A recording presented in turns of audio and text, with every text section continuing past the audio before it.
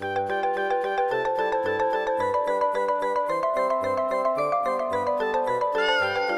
ワンワンちゃん猫ちゃんと仲良く暮らすための30分番組「猫ワン」猫ワンはご覧のスポンサーの提供でお送りします。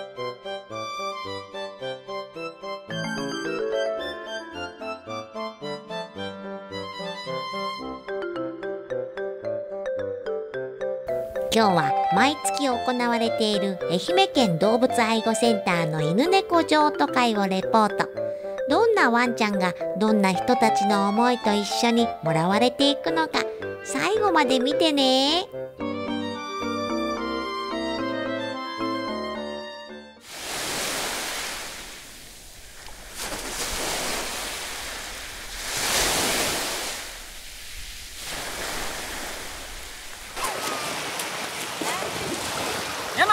病院も猫ワンを応援しています。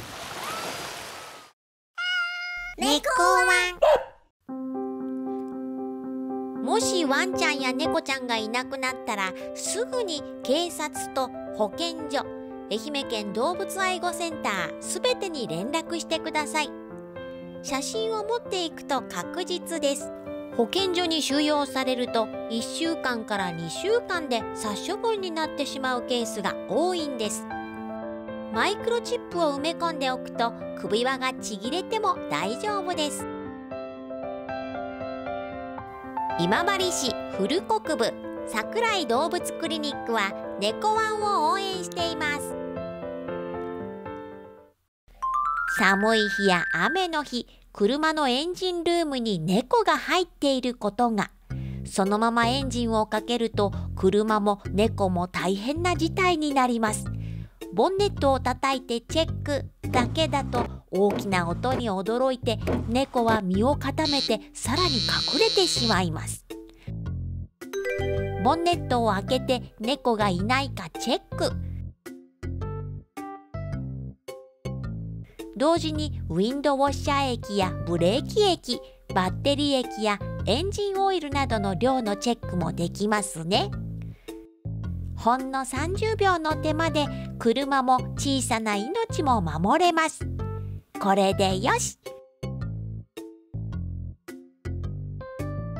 国道56号沿い伊予郡正木町神村動物病院は猫ワンを応援しています。いつもは動物愛護センターで行われる犬猫譲渡会。この日は松山市保健所で開かれました。こ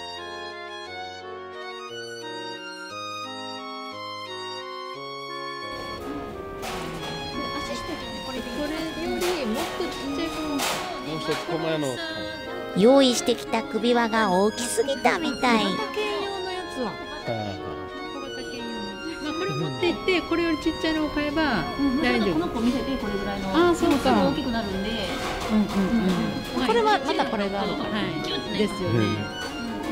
まあこの子見て、うん。なん。か大体まあね新しい飼い主さん家族の腕の中でちょっと緊張してるのかな？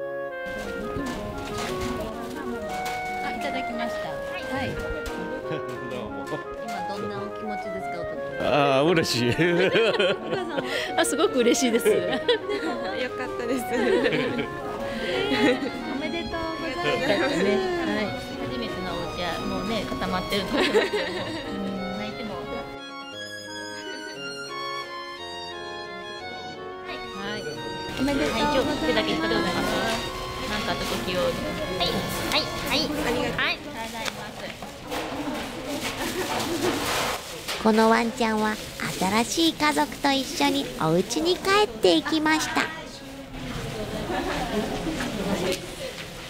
頑張って。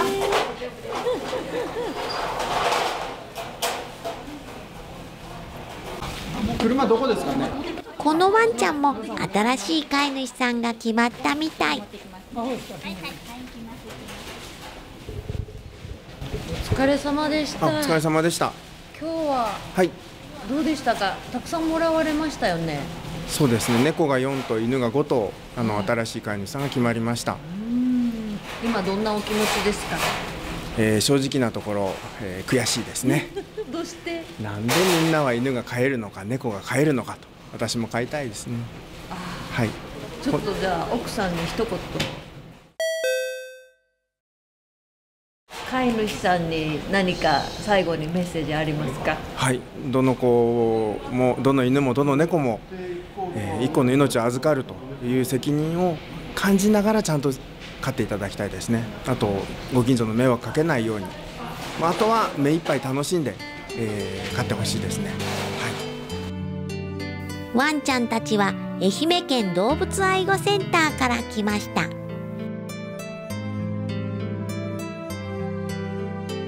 動物愛護センターにやってきました。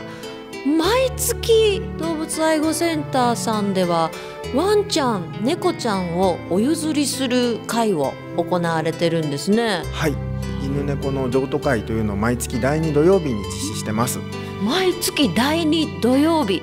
これはどなたでもワンちゃん猫ちゃん飼いたい人は参加してワンちゃん猫ちゃんとお見合いすることができると。はい、愛媛県内にお住まいの大人の方が条件です。あとはお住まいがちゃんと犬や猫が飼えるところかですとか、ご家族に皆さんに賛成されてますかですとか、えーいくらか条件があるんですけれども、それをクリアしていただいた方はどなたでも参加いただきます。はい。あらかじめ申し込んでいただいてということになるんですねそうですね。事前の申し込みが必要です。はい。なんだかちょっとフラッと行きたいんだけど敷居が高いなと思われる方いらっしゃるんじゃないですか？ああそう思われてしまうと非常に申し訳ないんですけれども犬や猫はですねぜひよく考えてから飼っていただくようにお願いします。犬ですと、まあ、今は長生きすれば20年ぐらい猫でも二十数年は生きますので、まあ、その間皆さんがちゃんとお世話ができるかどうか、えー最後まで飼ってあげることができるかそこら辺をよく考えてから、はい、飼い出すのはどれだけ考えても遅くないと思いますので。わしゃもう70じゃが犬が欲しいんじゃがいう場合もちょっと考えてということですね。はい、20年生きます。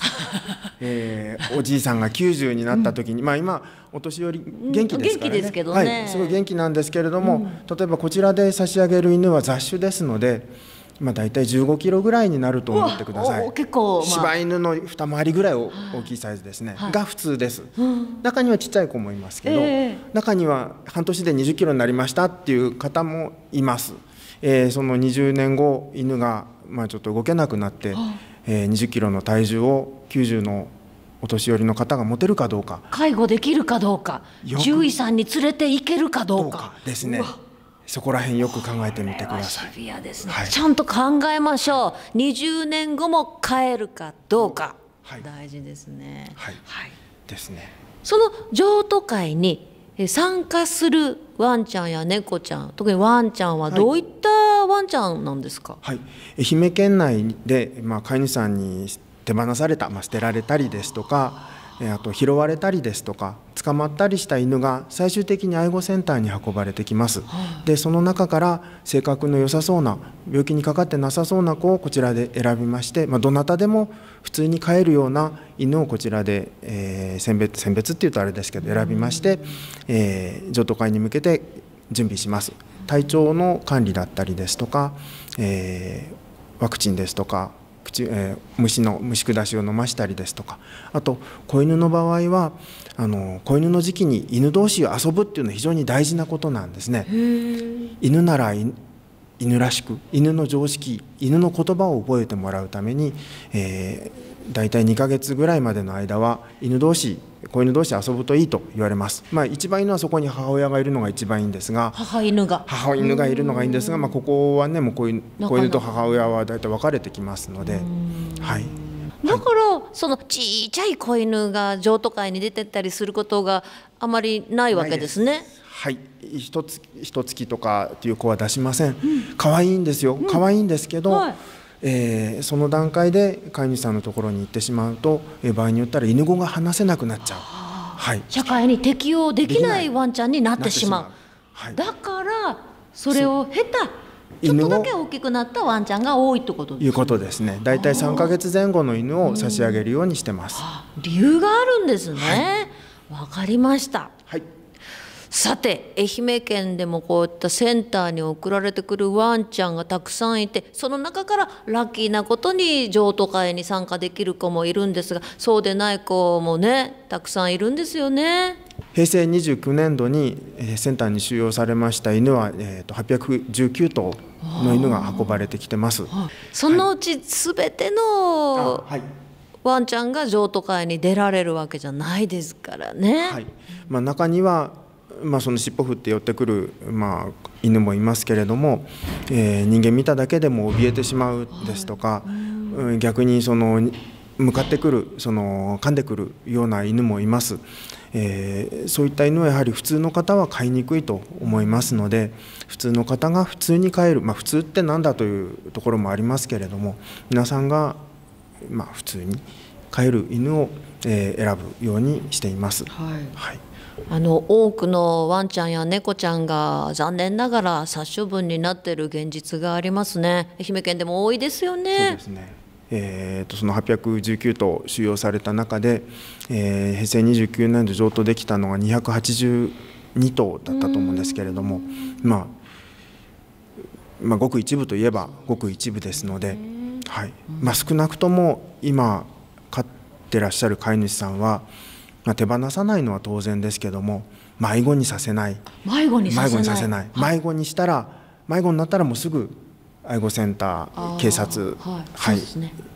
市役所、はい。町役場に連絡をいただくということ、あとこれから買おうかなって悩んでらっしゃる方は、えー本当に最後まで買えるかよーく考えてみてください、はい。それが大事だと思います。はい。はいあと迷子札とか観察はしっかりとつけて電話番号を分かるようにつけといてください。それが命綱ですのでね。はい、お願い観察がついてると嬉しいです、返せると思いますんで、あの、はい。こっち来てもそれが分からないとみんな犬語は喋れないですね。すみません。私なかなかなかなか勉強が不十分で申し訳ないですが話せません、はい、なので帰れる手段をつけておいてくださいね。お願いします、はい。CM の後譲渡会に参加するワンちゃんたちがシャンプーするよ。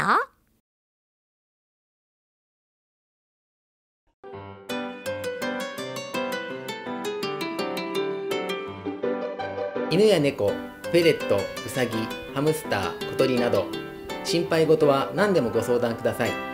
一緒に解決していきましょう一色動物病院。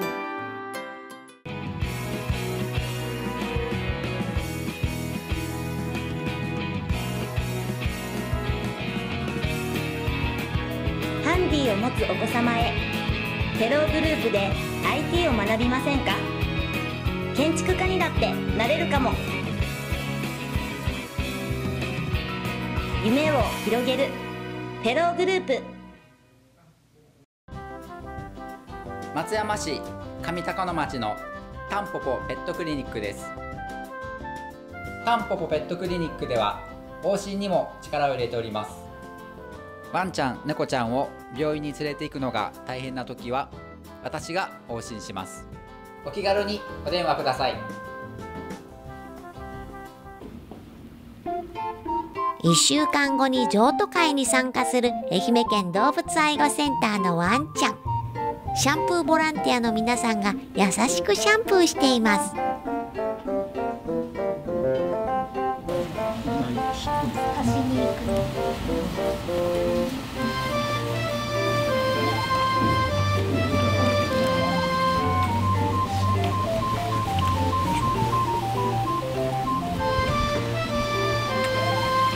すごいうまいですよね。何回目なんですか？あ四回目くらいこれぐらいになるともう手慣れたもんですよね。えーお家でワンちゃんもシャンプーしてあげるんですか？あたまにします。なんか気をつけてることってあるんですか？シャンプーするときに。あんまりお水があの口とかはあの耳とかに入らないことが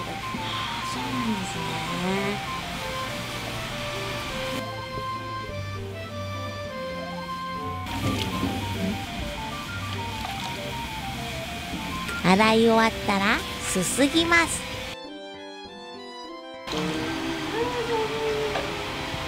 うん、ピンクの肉球こういうの見るとついつい触りたくなってしまう。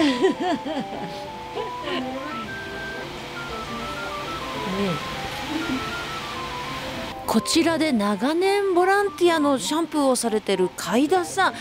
まあ慣れてますねもう10年以上やってますから 手慣れたもん。全く不慣れだったんですけども、今やプロ並みというふうに。プロ以上かもしれません。このボランティア精神を加味すると。ボランティアというより自分の楽しみのためにやってんですよね子犬と触れ合えるし。これそれで子犬がいい人にもらわれるようになったら嬉しいし。だからボランティアやってるというよりも楽しみのためにやってるようなもんですねこれは。もう生まれて初めてシャンプー受ける子が多いんですか？もうほぼ全員シャン初めてのシャンプーです。だから慣れてもないし緊張もするしストレスも受けるでしょうからそれに怖がらさないように気遣いながらそれで数ある犬をシャンプーしなければなりませんから案外と気は使うんです。そうなんですね、そもそもこういったボランティアを始めたのってどういうきっかけだったんですかセンターで？もう13年以上それ以上前になりますか。このセンターができたばかりの頃あの見学会がありましてね譲渡会の前に職員がシャンプーしていると犬の数が多くてとても職員1人じゃシャンプーできできないという話があってそういうことこそボランティアにやらせばいいと。私が提案しましてそれで早速その場で来ている人も私も私もと言ってくれてそれで始まったんです。いつもどんな思いでシャンプーされてるんですか？やっぱりね犬を救いたいですからね自分が引き取ればいいんですけどそう人生で何頭もあの変えるわけじゃないからちょっとちょっとでも犬を救える手助けになればほんのちょっとですけど手助けになればという思いでだから続いてるんですね。CM の後はいよいよ譲渡会だよ。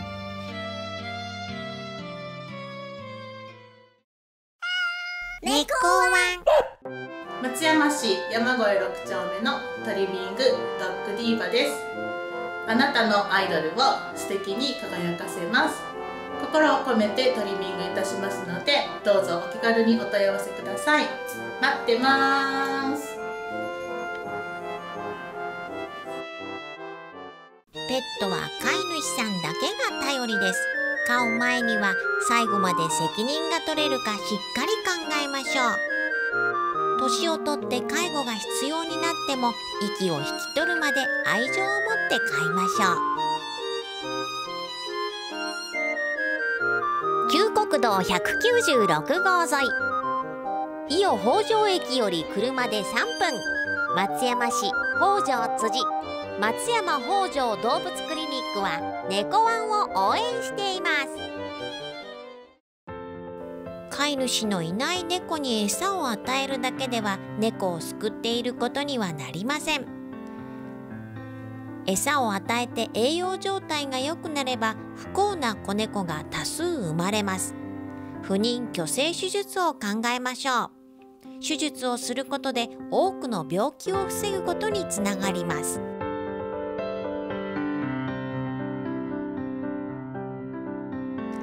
伊予郡戸部町リバーサイドショッピングセンター内戸部ペットクリニックは猫ワンを応援しています。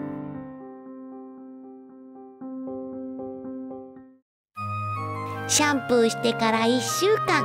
今日は松山市保健所で犬猫譲渡会。今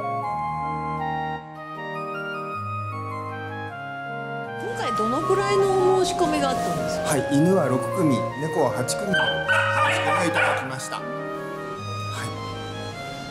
今どんなお気持ちですか？まあ、この子たちがいい飼い主さんにもらってもらえたらいいなというふうに考え今日はみんなケージに入っておとなしくしてるね。どんな飼い主さんが会いに来てくれるかな。まだ名前のないワンちゃんたち。ほのかにシャンプーの香りが残っています。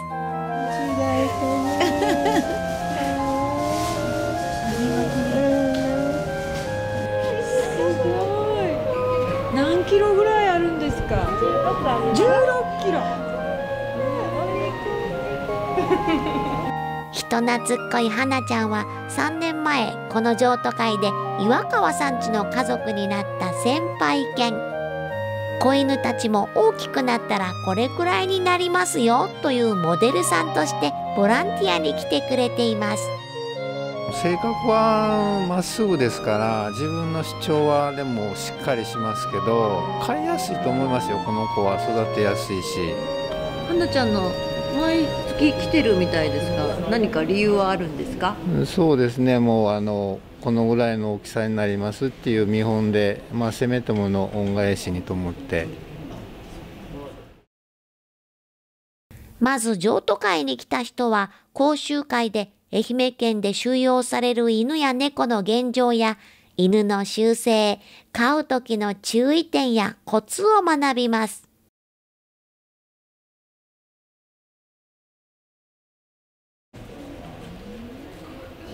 いよいよワンちゃんとのお見合いタイム。職員さんに性格などを相談します。その子に対してっていうのは何とか賢い犬ですので。そうなんですかすごい賢い。そうですもんねうん。どっちがいいんだったらこっちのの方がいいと思いますはいえっ、と奥様どんなワンちゃんが今日は欲しいと思われてますか？あのボランティアが缶持ってますのでいあのほやからお希望としてはオスで、うん、で先輩犬と仲良いにし、うんうん、してくれる方が。ただしあの先輩の家におる犬が4.5キロなんですよ。これが15キロになる言うからどんなのかなと思って、うん、それをちょっと心配して。毎月あの皆さんのために来ていただいてます。花ちゃん。今16キロです。これぐらいにはなると思いますあとはどんだけ下げるかによって横に膨らむいい声よねお前さんね。兄さんこの子だけど。ワンちゃん決まりましたかまだです。あら。どの子とどの子で迷ってるんですか？どの子でも可愛いけん。条件ってありますか？なんか性格とか見た目とか。見た目は可愛い子がいいけどみんな可愛い。困るね今回センターのワンちゃんもらおうと思われたのは何か理由があるんですか？ああ前飼ってた犬が亡くなったので、はい、ここの犬をもらおうかな、はい、ペットショップも何回も行ったんですけどやっぱり心ねもう行くところない子 からもろてたらいいかな思って。いいご縁があります。はいありがとうございます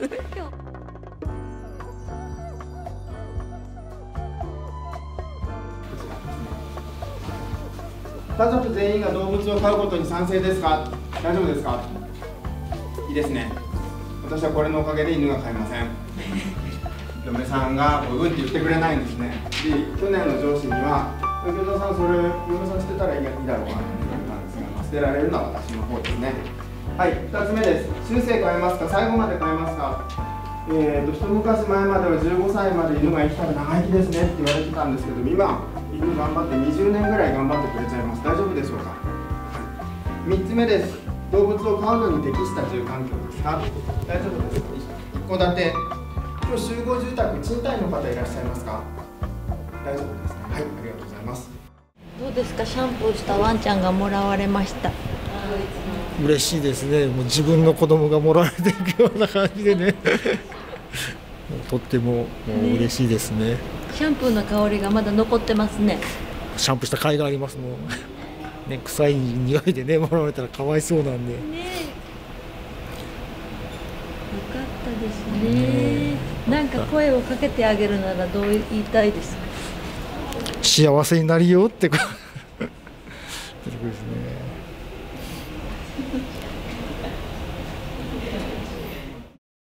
どんなお気持ちですかおときああ嬉しい。お母さんはあすごく嬉しいです。よかったです。おめめでとうございます。はい、初めてのお家はもうね固まってると思いますけども、うん泣いてもそっとしてあげてください。はい。どうもはい。はい。おめでとうござい。ますはい、今日手だけ一人でござい。ます。なんかあった時用に。はい、はい、はい。はい、ありがとうございます。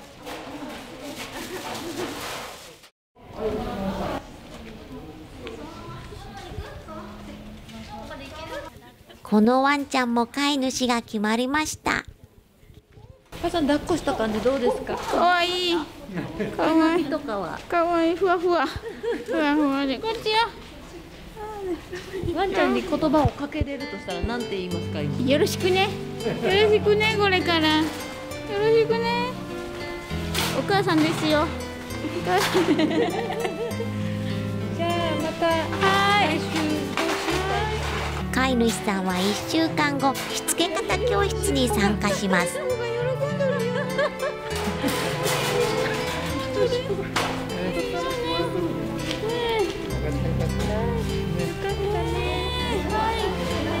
さあ、名前は？さあ、どうしようね。名前どうしようね。白かね。ね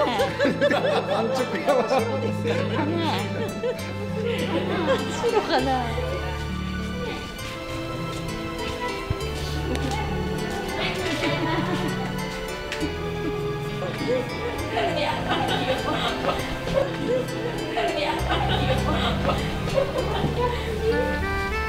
よかったですね。今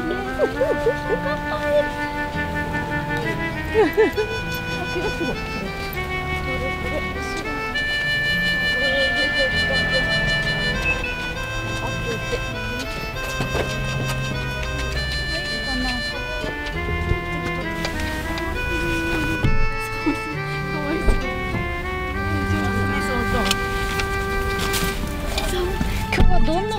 気をつけたらいいですかね初めての家で。初めてね、逃げないように、本当ね。せないきませんね、やんちゃそうなので。もうさっと逃げられたら大変。ねえ、寒いし、慣れん人ないし。じゃあ気をつけて。ありがとうございました。お幸せに。閉めますよどうかいつまでもお幸せに。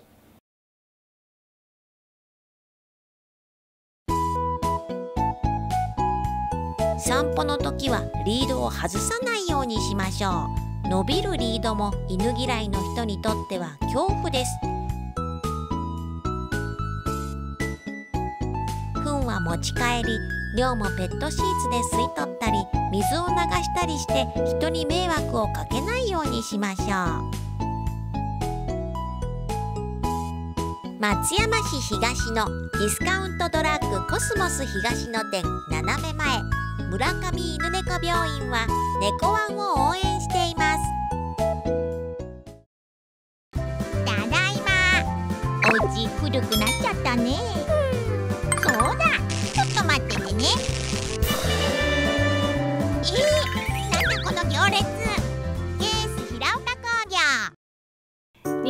業日本ケアドッグ協会はワンちゃんと飼い主さんの絆づくりをお手伝いします。ケアドッグ幼稚園トレーニングや遊びなど楽しく過ごします。ケアドッグスクール。基本的なルールからハイレベルまで。個性に合わせてトレーニングします。無駄吠えトイレのしつけなど。何でもご相談ください。日本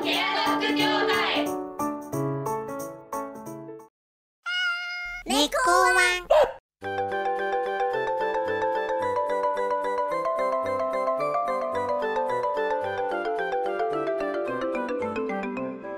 ン猫ワンそろそろお別れだよ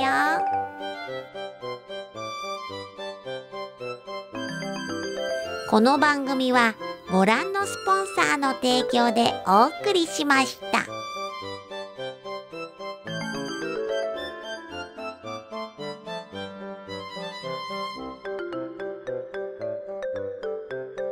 また見てね。